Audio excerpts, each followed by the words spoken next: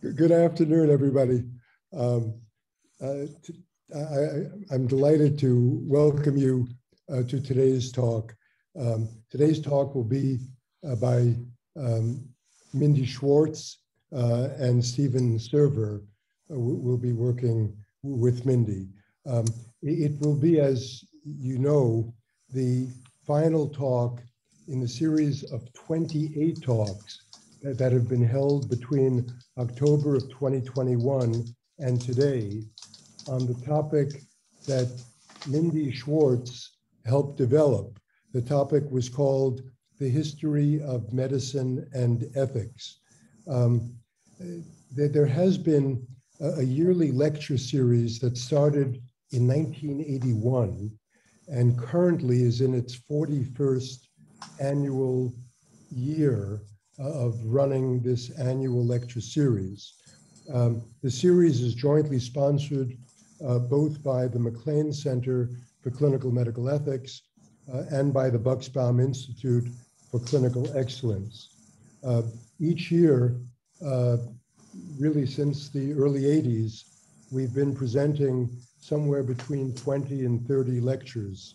Um, in the past 10 years, uh, some of the lecture series topics um, have been uh, reproductive ethics, organ transplantation, pediatric ethics, global health, healthcare disparities, end of life care, neuroethics, the doctor patient relationship, and a few years ago, the COVID 19 pandemic.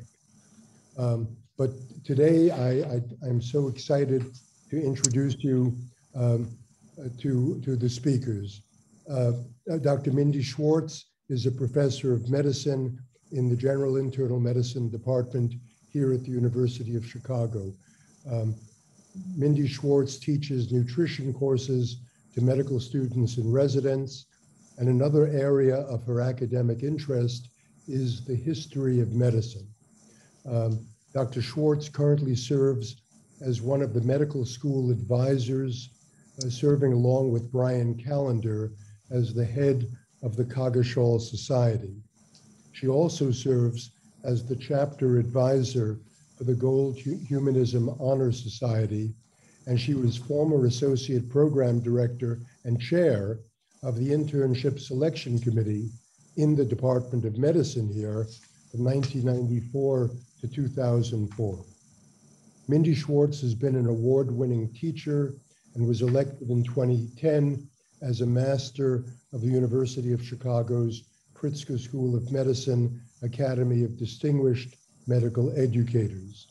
Over the past 10 years, Mindy has studied and taught medical history to medical students and to internal medicine residents.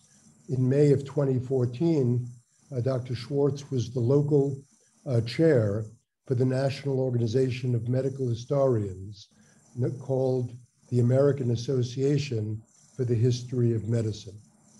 Joining Dr. Mindy Schwartz today is MD PhD candidate Steven Server. Uh, Steven is a member of the Committee on the Conceptual and Historical Studies of Science, the Department of History, and the Pritzker School of Medicine. Uh, Steven recently submitted his dissertation entitled A Test of Conscience Navigating Mexico's Servicio Medico Social, 1935 to 1940. The title of Dr. Schwartz and Steve's talk today is Studying the Past and Creating the Future. I'm delighted to turn you over to Mindy Schwartz and Steven Server. Mindy, please. Well, thank you, Mark. Um, let me just make sure I'm, I am not muted, and no, I'm not. Let me get my slides set out, and I want to just share the screen. We're here. Share. And let's just do this. Okay, can everybody see the slides? Great. Thank you. Thank you, Elena. Okay. So I wanted to thank everybody for coming today and for participating in this terrific educational experience. Um, as you know, this is the last lecture of the year, and I took a page as the um, organizer's prerogative to give the summary and closure because my friend and colleague Brian Callender did the same thing last year, and I thought it would be nice to have the last word rather than the first word. Now, when I first approached Mark about incorporating history into the interdisciplinary um, lecture series, I thought it would be a nice variation since it hadn't been addressed directly over the last 40 years. And I also thought that the historical approach would be very welcome, particularly in light of the shadow of COVID, with a political situation, racial issues, climate change, congressional gridlock, and now an evolving war in the Ukraine. And if there was never if there was ever a propitious time to study history, certainly now. And at the beginning, when we invited the speakers, I was actually hoping eventually that it would be hybrid, that we would go um, in person at some point. But just like everything else related to COVID, um, you know, you really you, you can't bank on anything. So it turned out to be virtual, and surprisingly, it we've actually grown accustomed to it. You know, it will be nice to be in person, but I think a lot of us have anxiety about groups. So I want to go back to what I call first principles and make the case for the value of history in medical education as well as clinical practice. And I hope doing this, instead of having given this talk on the first day, my hope is that I want to leave you with food for thought and hope to um, continue your interest in this area. For the ethics fellow, I, ethics fellows, I've put together a bunch of resources that I hope people will be able to look at and share, including books and articles and other references. But on the last uh, slide, my goal is to give our um, both Steve and my email address. So anybody who's interested, I want to make this widely available. Okay. So um, as many of you know, um, anybody who knows me in person knows for the last 20 years I've been reading, studying, exploring, sharing, and teaching medical history to anyone who will listen. Now, this is primarily the greater University of Chicago community. And um, personally, I've been interested in what I call clinical historical connections or the clinical relevance of the past in the digital age. Um, the other thing, the other piece of this talk we're going to give is called um, Studying the Past, Creating the Future. Because at the best, I think history can give us a template of how to think about change when it comes along and how we can be maybe proactive rather than reactive. Now, Steve's going to talk about this as an activist versus a nostalgic view. But as we've learned, change is disruptive, and that means it's not linear. So maybe when the time comes for us to improvise, if we have a perspective about what works and maybe equally what has not worked, it will give us some um, insight into how to plan a better future. So history can teach us not only how to be humble, but maybe how to be active. And as the, the more we know, maybe the better we can get. And as Pasteur is quipped, chance favors the prepared mind. And maybe the issue is not so much as understanding the past as it is for advocating for the future. Now, this slide shows um, one of my favorite cartoons. When I was younger, there was a, a cartoon called Rocky and Bullwinkle, and this is Sherman and Mr. Peabody. Now, Mr. Peabody's the dog, Sherman's the boy, and they used to go on these adventures in what they call the Wayback Machine. Now, the thing about Rocky and Bullwinkle was they got the adventures wrong, but on the other hand, the thing about these adventures were that history was like an exciting place to go, and I always held on to that from when I was very young. And you can't study history without winding up back in ancient Greece, you know, one way or another. And this is Clio, or Clio, the muse of history. And her name means to either make famous or to celebrate, and she's often shown with a stack of books, an open scroll, a set of tablets. And one of the several muses, origin of the museum, is um, Clio. And Clio is the daughter of Zeus and the Titaness uh, who is the goddess of memory. So why study history? Why study history? It goes all the way back, and there's much written about why study history, but I'm going to go over some of the basic um, foundational issues that I think apply to history in general, and then I'm going to bring them more specifically into clinical medicine. Okay, and this is taken from the University of Wisconsin History website, which I thought um, made a succinct um, argument. So obviously, we know the past is the foundation for the present. It helps us understand why things work or don't work. History also creates empathy as we understand, you know, in a more personal way that the people in the past were just like us, you know, imperfect, not omniscient, you know, making mistakes, fundamentally human. The other thing is history can be personal and very personal, you know. Um, all you have to do is watch um, that show, Finding Our Roots, and you can see how these very famous people who get exposed to learning about their history can be very um, either sometimes really uh, encouraged or sometimes overwhelmed at their past. And then everything has a history. As I was looking at the website, you know, there's a history of, you know, history of refrigeration, history of condoms, everything that we know and are interested in has a history. But one of the important things about doing history is there's a skill set to history, and history can be like a puzzle, and historians are among the best detectives, and historians are great researchers, and that's part of the skill set of the historian. And I love this picture. This is a picture of Osler performing a history and physical. And one of the important points as a clinician is history is an, is an essential part of what we do every day, all the time. The ability to take a history, every single patient we see, we have to take a history.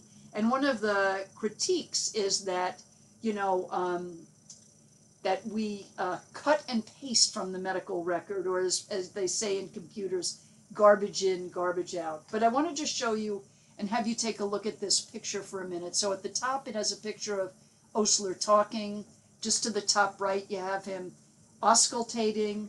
The bottom left, you have him palpating. And the thing that's just so powerful is he's sitting there with his foot on the chair and he's actually thinking. And just as a, a moment of reflection in the modern time, that's the problem that we have with modern medicine. We're going so fast we don't often get the time to think, but history and physical, you know, every physician is a historian at some way.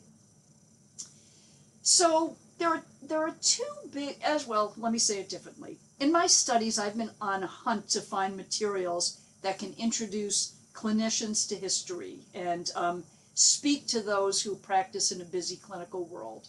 And there are two really good references that help. Uh, there's many references, but I'm going to cite two that give us a framework. And this is a article called Making the Case for History in Medical Education.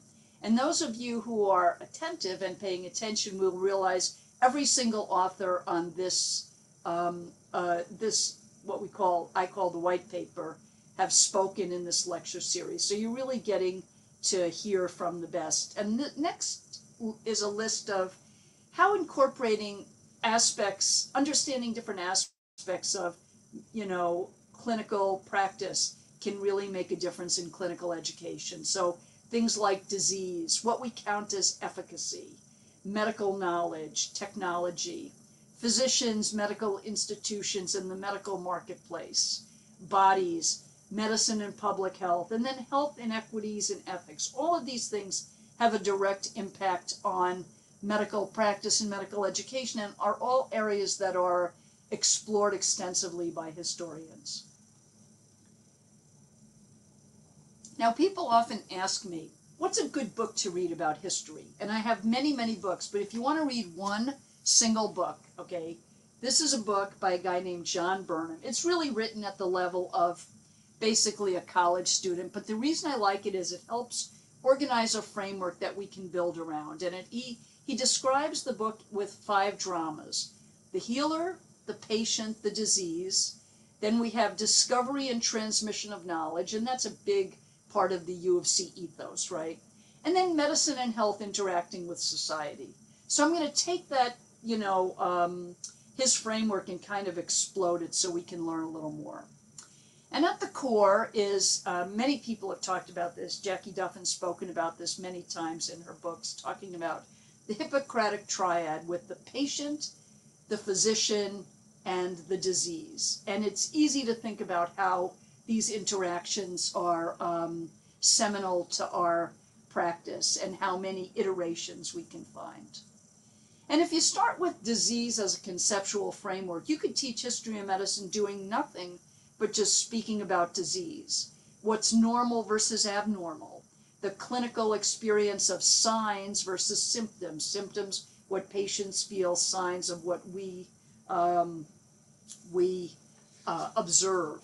And then you have nosology, which is the branch of medical science dealing with the classification with, of disease. And this is clearly, you know, changed over time.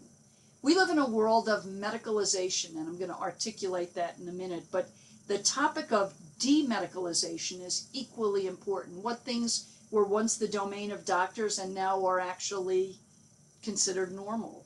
The whole ICD 11 codes, the International um, Disease Classification, which there's 55,000 different codes. And then there's classic diseases. You know, you think about diseases that we've seen over time, including things like gout, tuberculosis. And then you have modern diseases. You know, I mean, if you look at um, Mark's uh, ethics lecture series, he started back in 1982 and 85 with AIDS, and now we're at COVID, you know, so we've seen this. And then one of the other most interesting things that I have about the issue of how are syndromes, and syndromes help us understand disease in a different way. And one of our colleagues, a historian named Howard Kushner, has written a very interesting article that I have on the reference list about using syndromes as a diagnostic tool. And as a, a general internist and a clinician, you can see even the etiologies and the treatments for disease have changed dramatically over time, right? One of the old adages was um, uh, relating peptic ulcer disease to the um, high level of acid, no acid, no ulcer. And then in the recent years, Helicobacter has, you know, been identified as a cause of ulcers.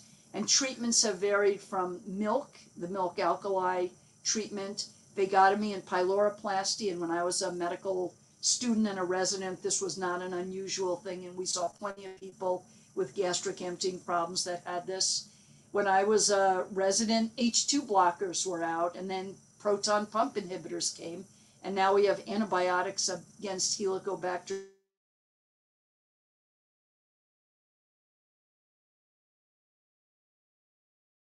He drank the organism made his colleagues scope him to document that he was so convinced that this was causative. And there's a whole interesting literature about self um, experimentation. Even the same diseases over time are viewed in a different way. Chlorosis used to be a disease of called the green disease and used to be a disease of white women and now it remains a major cause of micronutrient deficiencies. Iron deficiency anemia throughout the world is very common in, um, you know, in third world and low income populations. And most of the people now have iron deficiency anemia are actually not thought to be white, but thought to be um, of all different races. And then what counts as a disease and what doesn't. Here's a picture of Mary Mallon, who was Typhoid Mary and for those of you who know her story, Mary Mallon was actually a cook who was a typhoid carrier and was um, shut up in New York and quarantined for years because she was a transmitter of typhoid, but she was never sick. It's a fascinating story on many levels about how we understand disease, how, you know, immigration, the reach of public health. Much has been written about it. And you don't have to look any further than the history of sexuality to see how, you know, um, what we understand as normal and abnormal has changed. And there's a whole literature on onanism or masturbation in the 19th century. And one of the most interesting books, a, a book written at the late 19th century, was by a German physician named Richard von Krafft Ebing called Psychopathia Sexualis. And it's really fascinating because it's kind of the modernization of sexual diversity, focusing on immoral acts as a and and his concept was a temporary deviation of norm from the innate morbid condition. And it was part of forensic medicine, which focused on things like rape and sodomy and indecency. And um, man was thrust into this irregular behavior not as sin or crime, but as symptoms of pathology and it's kind of the medicalization of this. And then in the 20th century, we've seen, as people call, the discovery of homosexuality and certainly the rise of transgender as common in our world. And, you know, look no further than Caitlyn Jenner. And I think it's really important because there are generational issues. Obviously, for those of us who grew up in 19, um, I think it was 76 when he won the, um, the decathlon.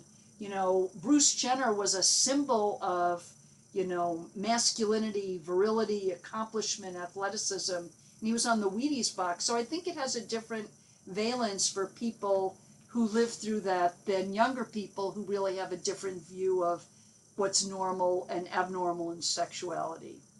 So when we use the term medicalization, we are talking about the process by which human conditions and problems come to be defined and treated as medical conditions and become the subject of medical study, diagnosis, prevention, or treatment. And all you have to do is look at the ICD 11 to see some of the codes, things that used to be part of just being alive erectile dysfunction, wrinkles, smoking, hot flashes are now diseases and therefore in the medical domain. Demedicalization is even more interesting. Obviously, we talked about the fact that homosexuality was taken out of the, um, you know, the DSM. Jackie Duffin writes about love sickness and, you know, masturbation are clearly things that are now not thought to be pathologized. And I put the graham crackers here because in the 19th century, Sylvester Graham was part of a vegetarian movement that was very interested in um, how diet affects libido. But you don't have to look any further than the medicalized world in the fact that the same articles that are in Time magazine are also in Nature and Science, and we live in a world where people know medical terminology in a way that they didn't in our previous um, generation.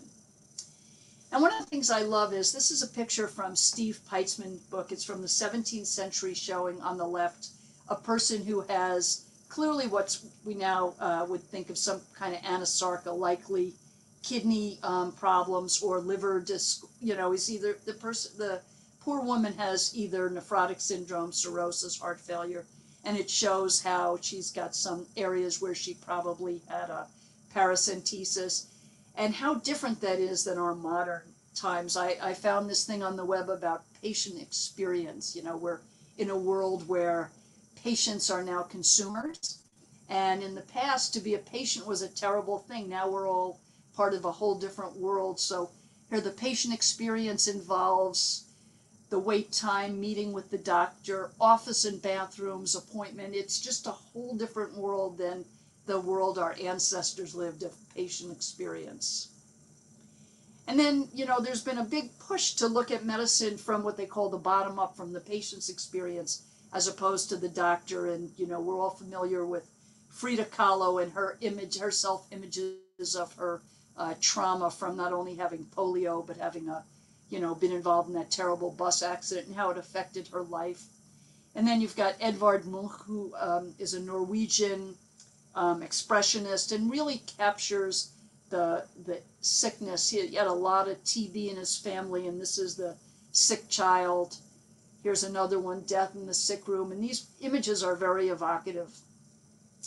Another book that talks about, you know, our uh, approaches to, you know, the patient experience is celebrity illness. When you know, Barron Lerner wrote a really terrific book called "When Illness Goes Public," looking at Lou Gehrig FDR. And the reason I have FDR here is because everybody knows about FDR um, polio, but very few pictures of him in a wheelchair. It was really important not to have that showing. And Arthur Ashe, Barney Clark, the recipient of the, the first artificial heart, Betty Ford. And we live in a world with direct to consumer advertising. You know, this is advertising Xarelto. And, um, you know, there was a time when you would be kicked out of the AMA for advertising, and now we advertise dangerous drugs to patients. And then obviously physicians and other healers. And if there's anything we've learned in this lecture series, is that physicians are only one part of the healthcare team. We heard talks about nursing and osteopaths, and anybody who does inpatient service knows that we are part of a bigger team, which includes medics and midwives and bone sellers. Over time, physicians are just one of many. And then you can look no further than the iconography, right? On the left, the image of the doctor in the 17th century holding up the matula, the urine, that was his, um, and typically it was his, his, you know, that was the significant code. Whereas in the modern times, they're, you know, wearing the white coat with the stethoscope hung around their neck. And another interesting iconography is just Thomas Eakins showing the transition from the acceptance of antisepsis from 1875 to 1889, showing the Gross and the Agnew Clinic, two hospitals in Philadelphia where he was a painter um, and was invited to, you know, paint scenes of medical uh, heroicism. And this is a picture from our special collections. Just the only reason I show it as change in practitioners is because A, these are medical students, and B, they're sitting with a skeleton which would not be A, the, the demographics of medical school would be different, but B, having a skeleton would not be acceptable as part of our current practice. And then Obviously, hospitals have changed over time from medieval hospitals, which were typically right next to a church and places of, you know, that were founded by religious organizations, to Rush Medical College, which is the precursor to the University of Chicago Medical School, to our very own University of Chicago Medicine, and just, you know, the hospital um, architecture and the changes are dramatic. And then how the same images can be weaponized, and this is a um, this is a critique of the famous Luke Fildes painting, "Voluntary Health Insurance: The American Way." Keep politics out of this picture. Well, politics is certainly in the picture. And then the social contract. This is President um, uh, Johnson signing, you know, the Medicare and Medicaid amendments to the Social Security Act in 1965. And it's important to remember that the mean life expectancy was 70 years back then. Nobody thought Medicare was going to be the behemoth that it's grown into. And then technology. Um, we know that technology is part of broader systems, and um, there is unanticipated costs and consequences of technology. Innovation isn't always progress, and what happens in other fields bleeds into medicine. Just think about the role of um, something like photography, um, microscopy, the role of the automobile, the ambulance, computers, and I'm not even mentioning x rays, ultrasound, CT, MRI, and the whole diagnostics. This is a picture of Walter Freeman, one of the fathers of um, the early, um, you know, prefrontal lobotomy which at one time was thought to be a big advance in medicine, and now we obviously look at mental health and those treatments in a very different way. And then bodies, you know, this is Amelia Bloomer, a rebel in pants. You showed the 19th century, how scandalous that was. And it's not a long arc from the way we think about bodies now, and obviously we're in another time period where we're reconsidering you know, bodies of different, you know, ethnic groups and when they all matter and how we should think about them. And there's nothing more um, interesting from a historical point of view than going on a field trip. And I encourage any of you, if you haven't done this, go down and see Lincoln's home in Springfield, Illinois. It's only three hours from Chicago, and you can see I did this 12 years ago. But the great thing about going and visiting these historic places are you get to be really surprised. And one of the things that really struck me when I went, this is Lincoln's bedroom, and apparently the wallpaper is a pretty good reproduction of what they what they had, and I was just blown away by how vivid the purples were in the Lincoln bedroom. I know it seems mundane, but I just was surprised that the colors were so rich back then. But the other thing that really struck my fancy was this was the back area. This was Lincoln's outhouse, and what it reminded me of the fact that you know, cultural norms and what we think and, you know, what's, you know, private and what's public is really different. Like in the 19th century, strangers slept in the same bed. Clearly, you know, people's experience of sanitation was very different than ours. And here's a picture given to me by a friend of mine named Shauna Devine, who's a historian of the Civil War. And what you see in this picture is that this is a picture from the Army medical officers dated in 1864. and only two of the people are actually looking at the camera. This is very common if you see um, photography from the like late 19th and early 20th century. They're not necessarily looking forward. It's just a different convention, but it shows how these subtle things really um, embody the kind of changes that we see. And obviously, this is part of an ethics conference, so this is a picture taken from the Tuskegee study, which, you know, we've talked about things like eugenics, Nazi medicine, human experimentation. We didn't have a lot on torture, but we certainly dealt with compromised leaders. And as Arthur Conan Doyle, the famous um, Scottish physician, wrote, when a doctor goes wrong, he is the first of criminals. He has nerve and all the knowledge.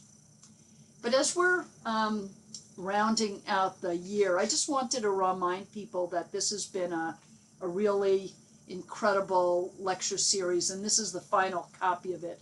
But basically, when I put this together, I broke it down into, you know, thinking about history in four big categories. First, there was a general talk by Bob Richards on the past is not what you think. Then there's one I call History Over Time. You know, Lydia's The Lost Art of Dying, Jackie Duffin's How to Diagnose a Miracle, um, Walt Schalick talked about practice in medieval medicine. There was a lot on clinical historical connections, including the history of nursing and, you know, osteopathy and um, the yearly physical exam and then clinical historical connections. And then the last is bioethical issues and bioethical lapses. And these are the talks about pain, fallen heroes, Tuskegee, the 25th Amendment, radiation studies. Mark gave a great talk on the history of clinical medical ethics, res- wrestling with eugenics. Um, gave a talk on living organ donor transplant, the shadow of slavery, um, Sydney Halpern talked about the human experiments with hepatitis. And then last week we had Matt um, Wynia talk about how healers became not uh, killers. And what I want to do now is transition this to my friend and colleague Steve Server. And those of you who know me know I'm a clinician who's a historian enthusiast.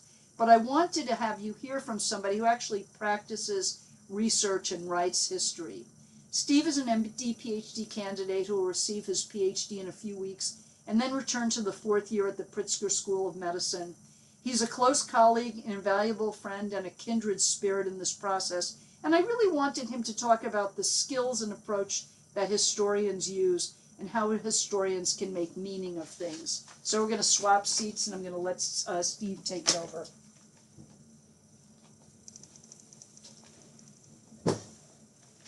Okay. That Looks good. Thanks so much, Dr. Schwartz, and thank you all for being here. And it's a wonderful opportunity to be able to talk to you all about sort of the life I've lived for the last seven years, um, sort of traversing back and forth across Ellis Avenue between kind of the medical side of the university and the academic side of the university. And sort of to, to Dr. Schwartz's general point, you know, I hope to talk a little bit about sort of the ways in which historians, academic historians, make meaning of things um, in such a way as to you know potentially encourage clinicians um, to reflect upon the way that they make meaning of things, and perhaps there's uh, some lessons that can be uh, had uh, from sort of looking uh, over the fence at the other at, at, the way that others make knowledge. So.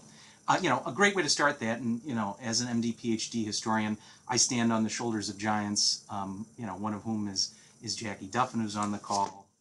This it's from this book, this article right here. Margaret Humphreys is another MD PhD historian. Um, so Clio in the Clinic uh, is essentially an attempt to sort of understand the role that history could play in medical practice. And in this article called Beware the Poor Historian, Margaret Humphreys essentially uh, sort of starts as a, as a framing piece this idea about uh, clinicians deeming uh, sort of their patients poor historians. Uh, and the deeper question is, okay, well, you know, as an MD PhD historian herself, uh, Margaret Humphreys is eager to sort of problematize and think a little bit about you know what it really might mean to be a, a poor historian uh, from the patient perspective, but really you know focus more uh, pointedly on what it means uh, to be a poor historian from the MD's perspective. And so, you know, I think a way to sort of think about that is uh, the ways in which there are different registers at which historians make meaning of things, uh, just as there are different registers at which clinicians make meaning of things. And sort of to blow that up and explore that in detail, I think we can use um, an article that uh, was in Tuskegee's Truths, which was uh, in the edited volume by Susan Reverby. This is an article called Racism and Research by Allan Brandt, who's a PhD historian.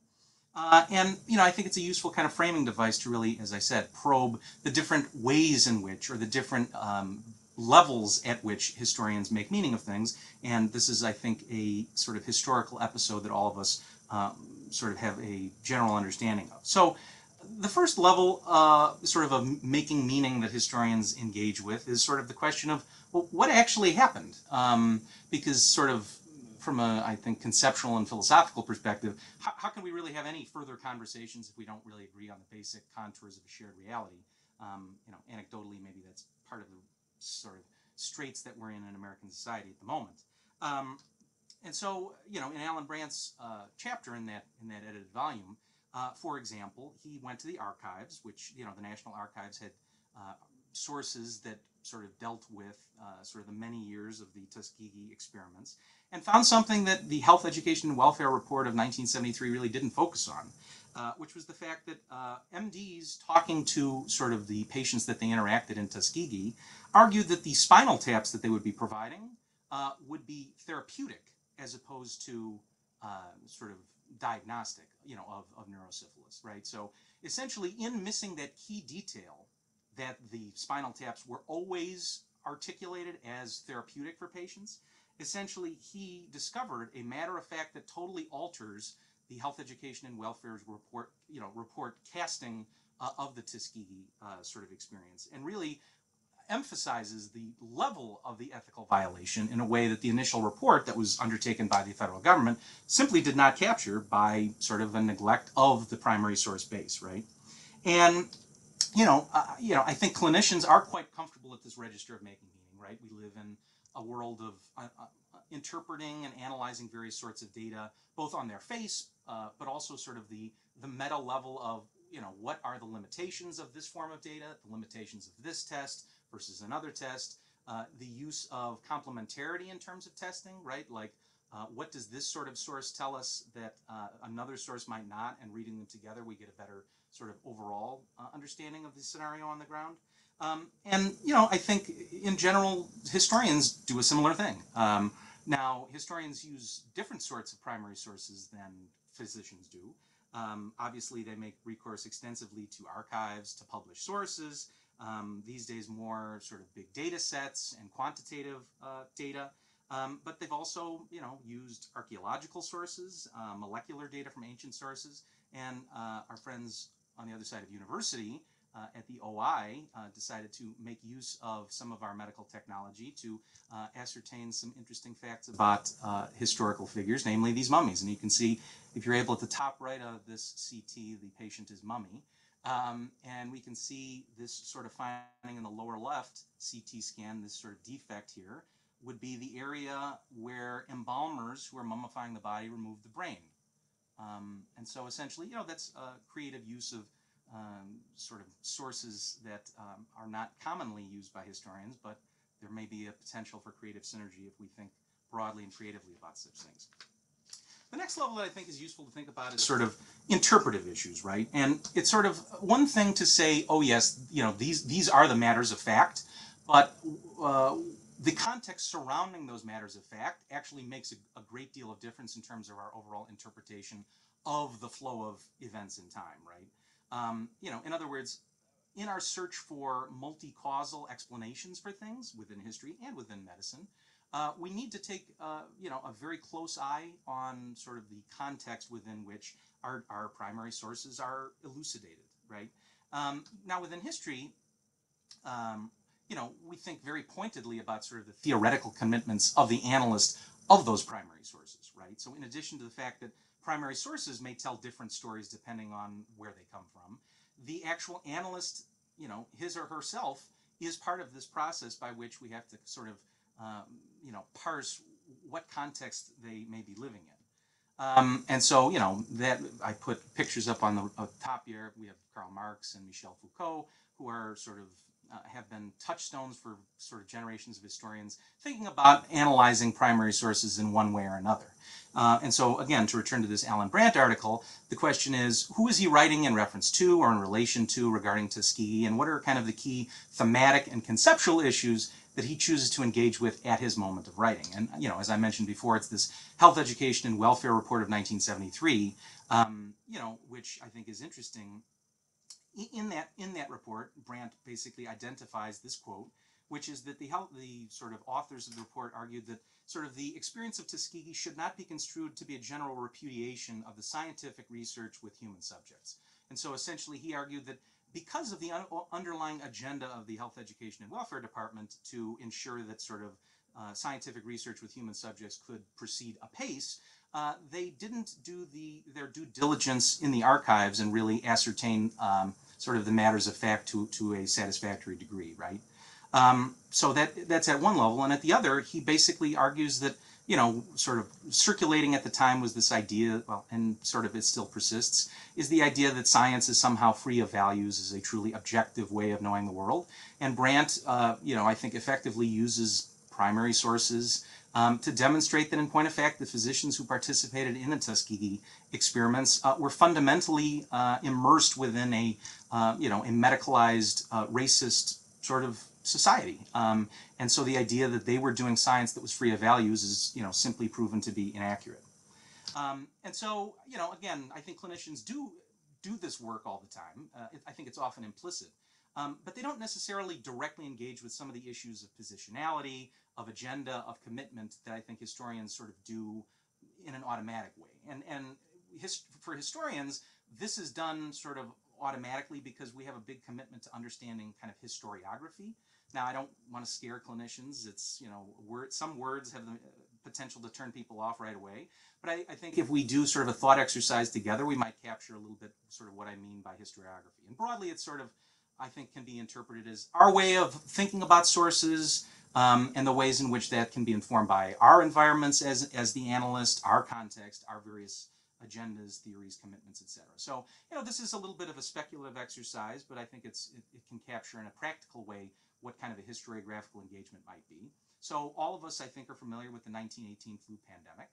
And as perhaps you can appreciate, at different periods in time, we might have written about the 1918 flu pandemic in different ways. So in 1967, for example, we might have sort of taken a Marxist or materialist perspective within, you know, which was common within histories at the time, which might meant that we, we which might have meant that we focused on the perspective of workers, of farmers, of those considered traditionally sort of proletarians. Um, given that 1967, um, you know, we were in the United States experiencing sort of a war in Vietnam, and the flu pandemic in 1918 was sort of at the tail end of World War One. Maybe we would have seen echoes of sort of the dislocations caused by war um, and read them back into the 1918 planned pandemic. In 1987, things obviously were different than they were in 1967, and so maybe historians, uh, you know, might have looked to the uh, AIDS epidemic as sort of an example uh, to sort of frame their studies of the flu pandemic of 1918. Uh, within history, it was more common in the you know the 80s to focus on the role of the state per se in offering sort of you know in structuring our day-to-day realities, and so maybe they would focus on sort of the will you know the Wilson administration's approach to the flu pandemic in ways that might they might not have done in the 60s. Now in 2019, uh, which is, you know, should be more familiar to all of us, you know, within history, it was, uh, I think it has been a trend to, you know, sort of problematize the idea of the state being the real author of sort of day-to-day -day life and focusing more on kind of the interstices between the state and local actors and how that ultimately gives rise to a form of living, right? Um, like, as I said before, big data in 2019 has sort of been more influential in history as a, as a, as a discipline. And as you can appreciate, in 2019, sort of right before the pandemic happened, we might tell a different story about the, the flu pandemic than we would in 2022 after we have just lived through a viral pandemic, right? Would, would in 2022, would we write a history of the 1918 flu pandemic that calls it the Spanish flu? I think perhaps not because of what we've observed about sort of the weaponization of sort of anti-Asian bias um, within our contemporary moment would we be so credulous about the role of the state to respond to sort of public health concerns? Um, would be would would we be so credulous about sort of a shared public uh, sort of conception of a fight against uh, sort of a, a major challenge to health of, a, of American society, for example? Again, I'm not so sure. But, but I hope sort of by this kind of thought experiment, you can appreciate the fact that the ways in which we understand history uh, are kind of inextricable from the way that we as analysts live through history. Um, and sort of we can't divorce the fact that we are historical beings as we think about people in the past, which I think is a lesson uh, that is important for clinicians. Um, you know, we all have uh, theoretical commitments, and the key is identifying what those might be. Um, and so, you know, to that point, I think the last level that I really want to talk about in terms of um, levels of making meaning is that, you know, history has the potential to make to, to have a practical purpose, right? Um, you know, histories in a practical sense bring groups together. There's a sociological function to te- the telling of stories. Um, they allow us to articulate shared values, shared experiences, um, and in so doing, sort of coalesce a group of people around these kind of mythologizing um, tales. Now, I think historically, doctors have been very adept with this. Um, you know, in an article by Brian, Brian and Longo, which is on a bibliography, uh, they describe this as sort of a nostalgic professionalism that sort of medicine, that physicians have often deployed um, which fosters a sense of belonging, solidarity, and identity. And, you know, arguably you could say some of the hagiographic histories written in the 19th century, which is to say, sort of histories that are celebrating the great heroes of the march of medical progress, uh, are, are of this genre, if you will. That they, they make meaning in this way, which is that look to our great heroes and we can take heart that we're part of a, a noble profession, right? Um, and in that regard, sort of the, the kind of uh, nostalgic professionalist uh, approach to history allows us to you know cultivate uh, useful role, role, models and in so doing we can sort of imagine a sort of virtue ethics uh, developing out of these kind of um, nostalgic histories but i think what's really important for clinicians as they move forward is that we pay very close attention to the mythologies that we craft right uh, certainly it's important to you know uh, recognize our shared values as physicians over time and across place uh, but you know to bring up um, Barron Lerner's work uh, of earlier in this in this series, um, sometimes our fallen heroes maybe you know should stay fallen.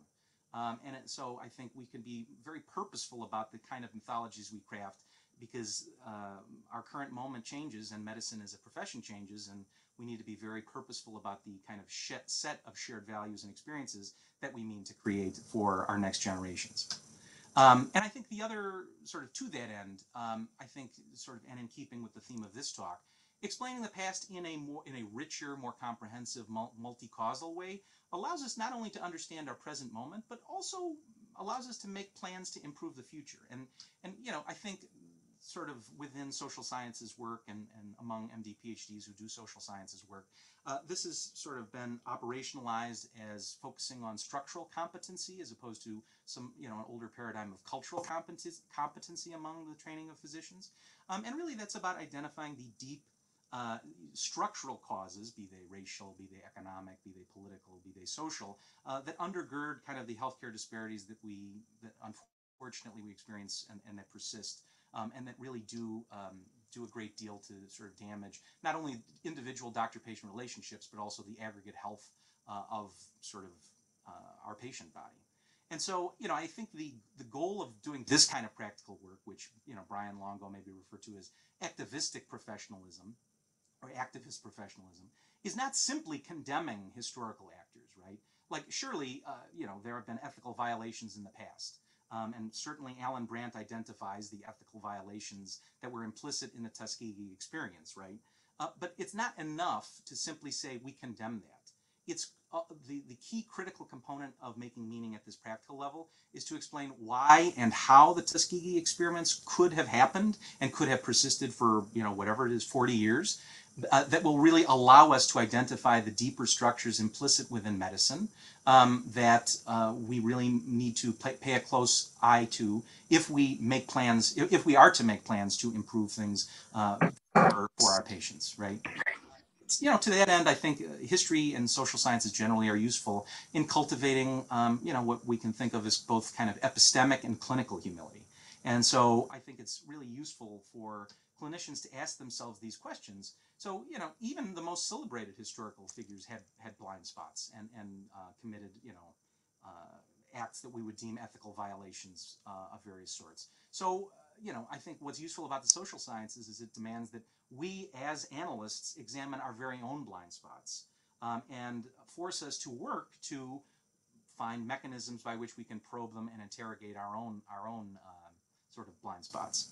Um, and I think the other sort of benefit of doing social sciences work uh, on a regular basis is the fact that some of the things that we do every single day we don't really pay a great deal of attention to. And uh, thinking as a social scientist, thinking as a, you know in terms of structural competency, allows us to uh, put those under the microscope and say, perhaps there are things that I do every single day that might actually be contributing to some of these structural inequities. Um, and maybe I can change my daily practice so, so that I may not be led astray as it happened in the historical past, right? And, you know, I think there are several, you know, sort of great examples in recent, very recent times of, of the ways in which history can be really used for good advocacy work to improve medicine. I think this series is really a great example of demonstrating uh, and identifying in a rich, comprehensive way the various structures within medicine within which medicine has taken form.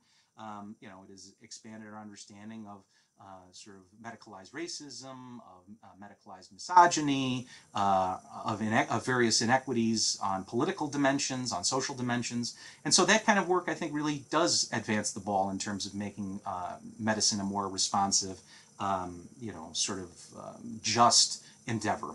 Uh, a few weeks ago at, at Johns Hopkins, they had this symposium in the history of medicine, specifically focusing on closing this open wound. And you can see their uh, design there, really reckon, reckoning with the role that academic medicine has played, um, not only uh, actively uh, sort of supporting uh, scientific racism by its sort of scientific pretensions, right? But also by participating in processes of, of racial inequity and racial violence, right? And really doing structural violence. And so, you know, put, putting a name to that and allowing for speakers to speak very openly about the participation of medicine in some of these sort of um, structurally violent projects of colonialism, slavery, etc., again, is, is a great way of doing historical work as advocacy.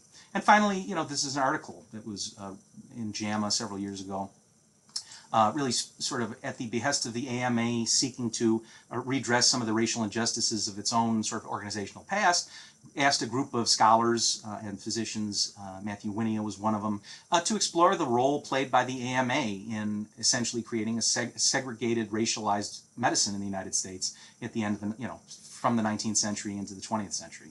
And so all of these, I think, are great examples of, of what clinicians and historians can do sort of in lockstep to uh, work to create a better structure for all of us to practice in and a better, more just structure for our patients to receive uh, care in.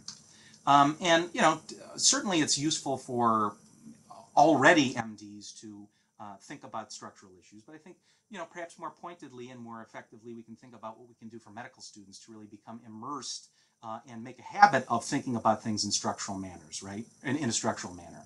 Um, so, you know, within the medical education literature re in recent times, there's been this focus on physician burnout. Um, and to some degree, we can sort of understand burnout as a, a, a sort of syndrome, if you will, or um, caused by kind of the moral distress and alienation caused by navigating kind of dehumanizing structural inequities uh, inherent in, in modern medicine, whether they be sort of the issues of having to deal with insurance companies or sort of the dehumanization of certain sorts of people that sometimes just happens in, in an implicit way uh, in medicine based on our structures. Th that, that can certainly burn physicians out. And within the medical education literature, they basically argue that cultivating empathy sort of in, in, quotes because it's, it's not always clear exactly how we might do that or what it might mean. But it's viewed that empathy is a primary prevention for the at-risk, namely medical trainees and medical practitioners. And so the question for all of us is, well, how do we teach empathy? And, uh, you know, again, let's look to history. You know, Virchow, Rudolf Virchow, sort of the father of social medicine in the mid-19th century, argued that, well, medicine is a social science and politics is nothing other than medicine at a larger scale. And so I think, you know, perhaps what empathy might mean in an operational way in medical education is really focusing uh, on the social sciences, uh, you know, working to provide students with all of the intellectual tools, certainly uh, a rigorous training in the hard sciences, uh, but also sort of the important humanistic and social scientific tools that might allow them to better understand their patients and themselves as kind of richly contextual social beings as opposed to these kind of dehumanized um, operators in a structurally an, an unequal system. Um, and then the question becomes, well, then how do we teach that? And you know, I, th- I think unfortunately in recent years, what has happened is um, we've kind of made recourse to all of those things that we think are important uh, in the basic sciences, right? Sort of reductionism, standardization, centralization, uh, recourse to sort of multiple choice tests, uh, to an evidence-based curriculum, and sort of a uh, commitment to a scientific tidiness of the social sciences. And you know, I, I think you know, using this Albert Einstein quote is maybe sort of illustrative of how I think about that, which is that everything that can be counted doesn't necessarily count, and that everything that counts can't necessarily be counted. And so, you know, arguably there is, uh, it's sort of maybe the wrong tool for the job to assess the impact that certain uh, sort of humanistic and social scientific interventions in medical school curricula um, might contribute to the benefit from an educational perspective of medical students. Um, you know, I think uh, Jeremy, uh, sorry, Jeremy Greene and David Jones, both MD PhD historians, had an article in Academic Medicine in 2017, and obviously the, what you know Dr. Schwartz referred to as the white paper that uh, Jones and Greene and Jackie Duffin and John Harley Warner all contributed to is essentially this idea that you know it seems that the medical humanities are held maybe to a different standard, a different evidentiary standard. Uh, to prove their ultimate benefit to medical students than anatomy has been. Um, you know, Jones and Greene basically argued that at a lot of institutions, you know, within the last 10 years, they just sort of dropped their anatomy curricula without sort of an evidence base showing that it was kosher for them to do that. Similar thing with adding genetics to curricula. Um, and, you know, essentially they argue that, well, you know, maybe that says something about sort of our underlying biases about the appropriateness of including social sciences, uh, in, including history within our curricula.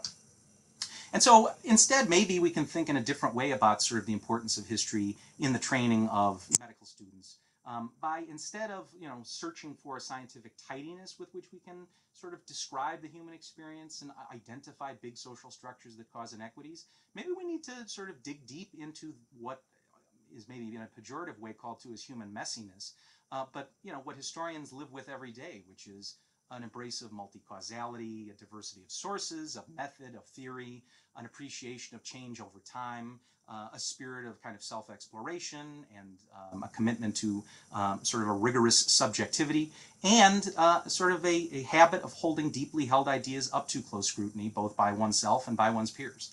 Um, you know, and I think if we're able to do that, um, we will be sort of, um, we can take shelter against some of the real challenges caused by living in a inherently turbulent, challenging, sometimes structurally violent world, um, and particularly a challenging, turbulent, ever-changing uh, profession of medicine. And so just to return to Margaret Humphrey's piece that was in Clio in the clinic, you know, she basically argues that as an MD PhD historian herself, uh, living through sort of residency um, during the height of the AIDS uh, epidemic, um, she had to sort of take heart that history would allow her to understand sort of the wild sort of changes around her.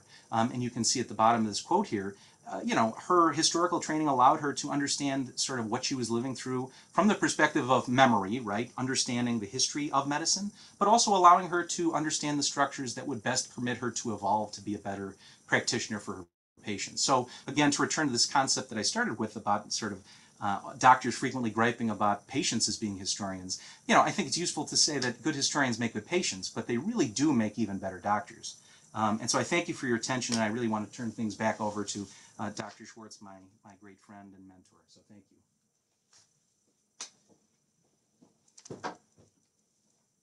Okay, friends, we're in the home stretch. We're just gonna do, um, one other quick thing. That was terrific, Steve. So I just wanna put on the side here our, um, I just wanted to have our email addresses for anybody who is interested in continuing this conversation.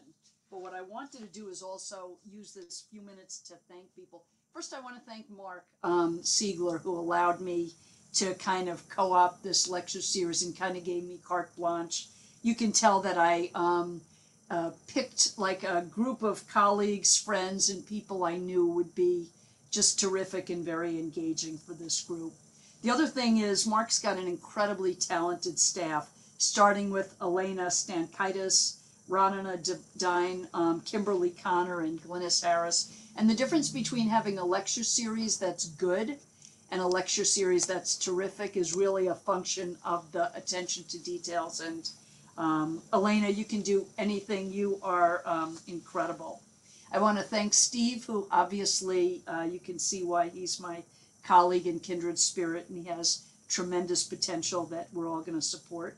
And then I want to thank the speaker, uh, the speakers, including um, all 28 speakers who gave talks, and especially to Lainie Ross and Sydney Halpern, who pinched hit at the last minute when we needed substitutions and did a superb job. I want to thank Deb Warner for her contributions from the library and being in the chat and always um, referencing the U of C resources. I also want to thank the community, especially the MacLean Ethics Series, Bucksbaum, the university community, and our friends from the American Association for the History of Medicine, and just our many um, friends and kindred spirits worldwide. Juliana Khalil was the intern who did marketing. And but before we leave and before we start the uh, question and answer period, I want to just um, highlight one last thing about an upcoming exhibit that uh, was put together by Brian Callender, and Steve's going to talk about that, and then we'll open it up for questions. Great. So, you know, I talked a little bit about kind of the, the ways in which uh, kind of academic work and clinical work can be, uh, you know, real allies in terms of advocacy work. And I think, you know, Dr. Callender's exhibit here at the Reg, which is running now through July 15th, called Reframing Graphic Medicine, is a great example of that. And I was very sort of uh, very uh, happy to be able to help him with it. Um, and you know, I think really the exhibit uh, focusing specifically on this question of history from below, right? Challenging the traditional sources that we have used to understand kind of the growth of medicine as a profession, um, I think really allows us to see the ways in which, again, sort of these different structures have led to patient experiences um, that you know maybe maybe doctors are not very familiar with. So uh, you know, across comics, across zines, across graphic novels, uh, we are allowed insight into sort of patient experiences and dimensions of, you know, uh, reproductive health, mental health, um, infectious diseases, um, you know, sort of issues of gender and sexuality uh, in ways that I think just can't fully be captured by um, sort of a, a cold, objective, austere uh, clinical report that many of us, you know, within history uh, use to support our histories, but also that uh, many clinicians sort of understand our patients by means of. So highly recommend a, a, a, look and, and hopefully we'll have an opportunity, all of us, to get together there and, and chat um, and celebrate uh, you know, Dr. Callender's accomplishment with this great exhibit at the Reg. So with that, I think we're ready to Open up Open for it up. questions, yeah. Okay, you guys, um, we should take a look at the chat. Um, That's great. so let's see what we got here. Um, so there's actually a lot of really great um, references. Um, Deb Burnett said, I, Deb Burnett said she was at, on call at the hospital when um, they did that that CT at the mummy. Hey Jay, you want to um, take over and uh, Should we stop the share? We can do that. yeah, we can do that. Oh, great. Yeah, sure. Thanks. Um, yeah, this is a, an excellent, excellent talk. Um, so I, I'm a, uh, as I, I always disclaim, I'm a philosopher, uh, not a not a physician or or a historian. Um, and so I have a couple of, you know, I'm not sure how to. I'm always sort of puzzled by the sort of the philosophy of history in the following sort of sense that, I mean, on the one hand, we think that you know part of the part of the importance of history is is getting us to you know we want to know sort of what happened. We want to get to, it is important to distinguish the sort of the the facts of the facts of what actually occurred from, you know, from from misinformation, from, you know, from uh, uh, alternate from alternate histories that didn't actually occur.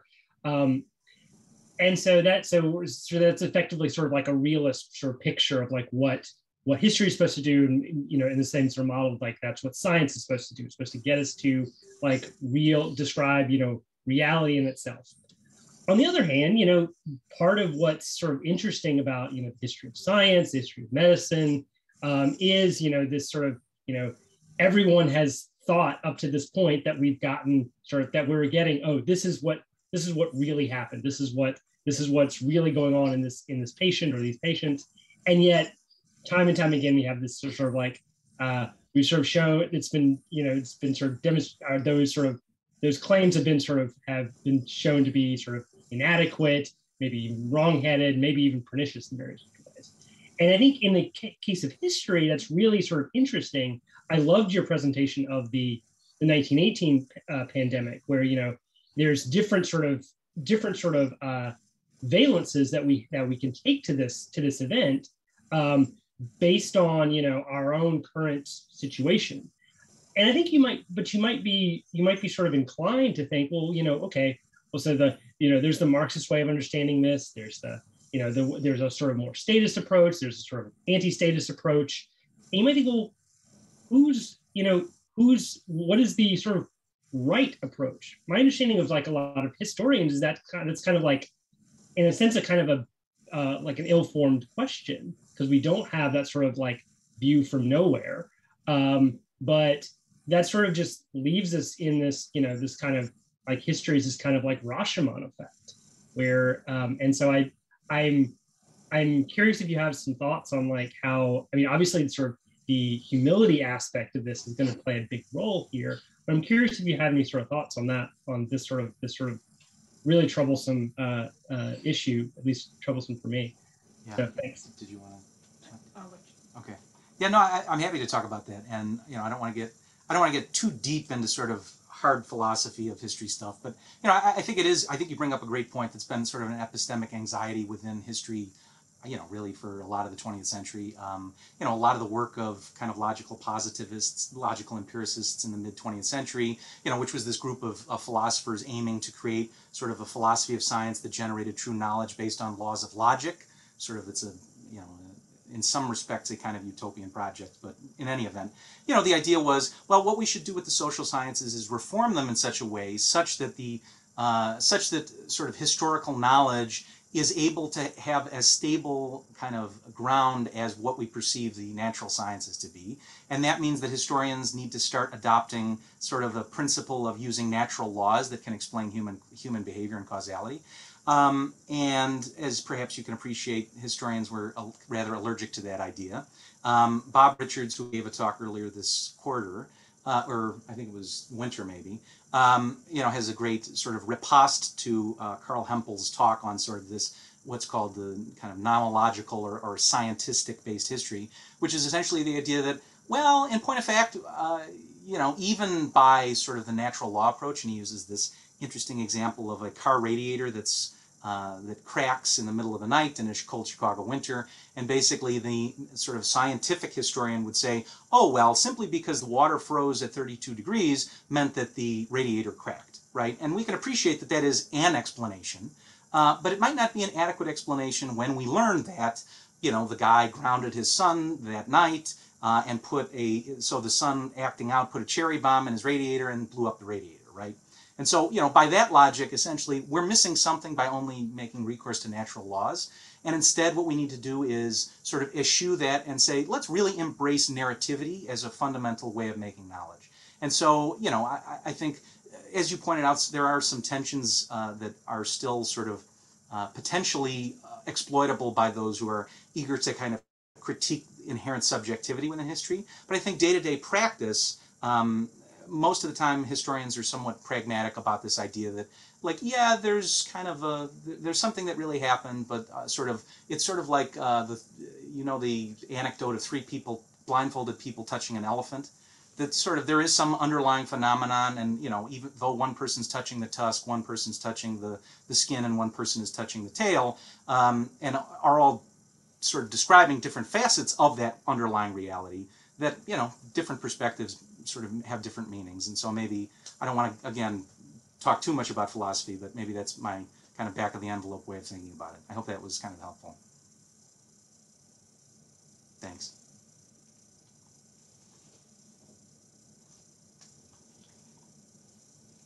Anybody else interested in either making a comment or adding to the mix? Dr. Hekmat, you wanted to say something?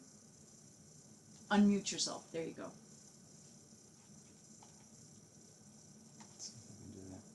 No, I One think second, this- Doc. I think. I have an observation that I wonder if you agree with it. Um, the digital technology has improved a great deal diagnosis, but you referred uh, earlier that uh, history taking and examination duration has diminished.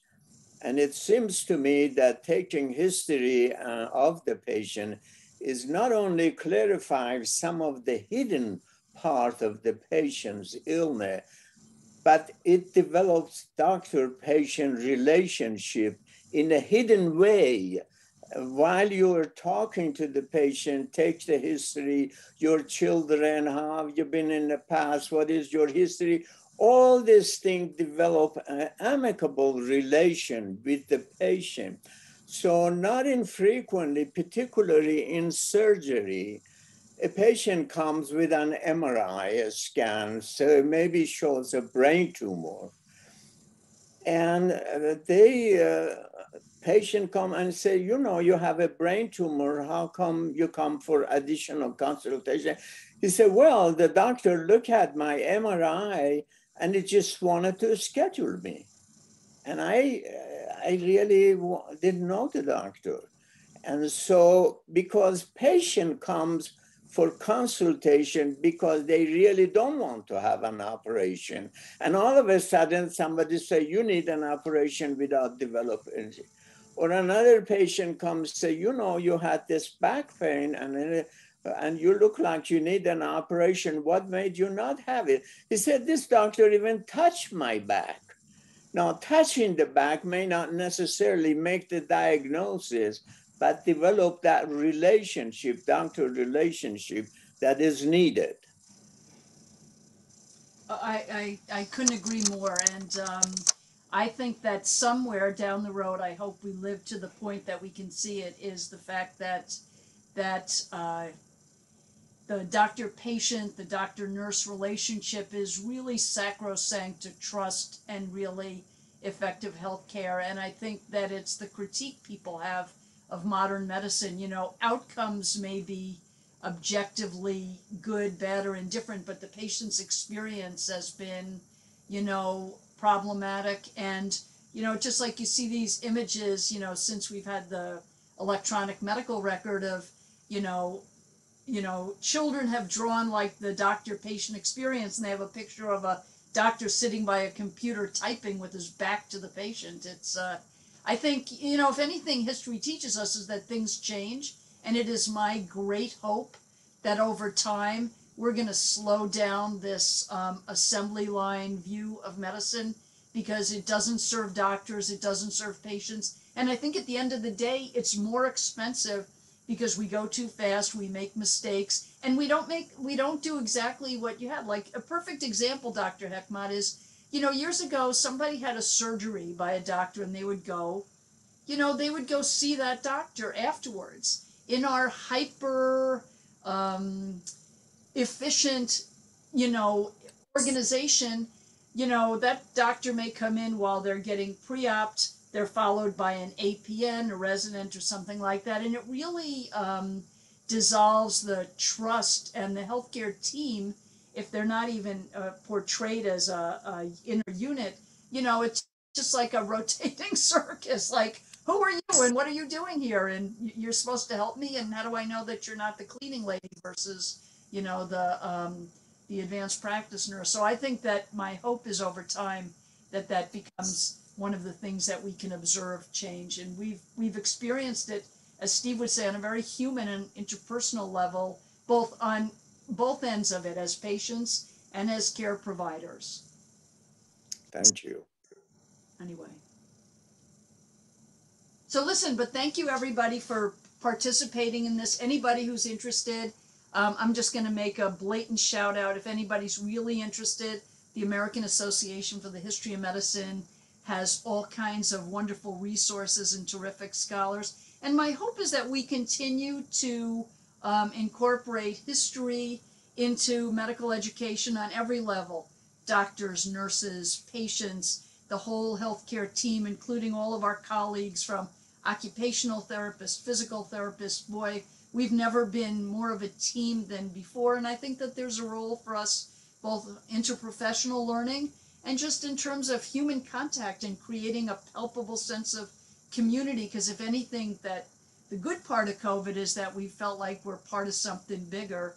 And when we've shown up in the best way, you know, it's been nice for people to go beyond themselves and help when they're needed. So what I'm going to do is let everybody take a little deep breath. I'm going to meet with the ethics fellow later. I want to thank Steve. I want to thank everybody for coming. And thanks to the um, MacLean Center for allowing us to have a year, which I thought was terrific. And thanks everybody, both the community and the speakers. And we'll see you down next uh, in a in a half hour to those, and if not later on, we've got all the resources that people want. So thanks. Hold on just for one second. Um, Go ahead. First of all, I want to congratulate you um, and, and Steven about you, your talk today, but, but also congratulate you for the extraordinary program that you organized for the year.